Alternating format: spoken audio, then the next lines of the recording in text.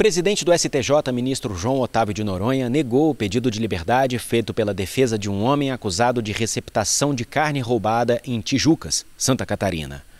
A prisão em flagrante foi em agosto de 2019, durante investigação que apurava o roubo de 24 toneladas de carne bovina procedente da Argentina. De acordo com as investigações, o produto era oferecido a restaurantes catarinenses. O acusado confessou o crime, mas ficou em liberdade porque a magistrada que homologou o flagrante considerou desnecessária a decretação da preventiva. Mas ele acabou sendo preso preventivamente dois meses depois. No habeas corpus dirigido ao STJ, a defesa questiona o risco de reiteração delitiva que fundamentou a prisão.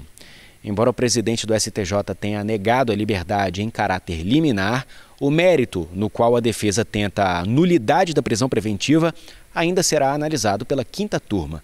A relatoria é do ministro Reinaldo Soares da Fonseca.